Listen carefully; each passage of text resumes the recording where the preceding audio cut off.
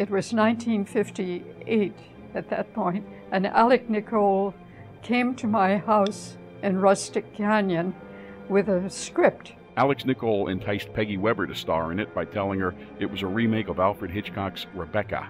And he said, But I want you to play the Joan Fontaine part. But it also makes you think of Gaslight and, especially, all the horror movies where a spouse is being driven to madness or death.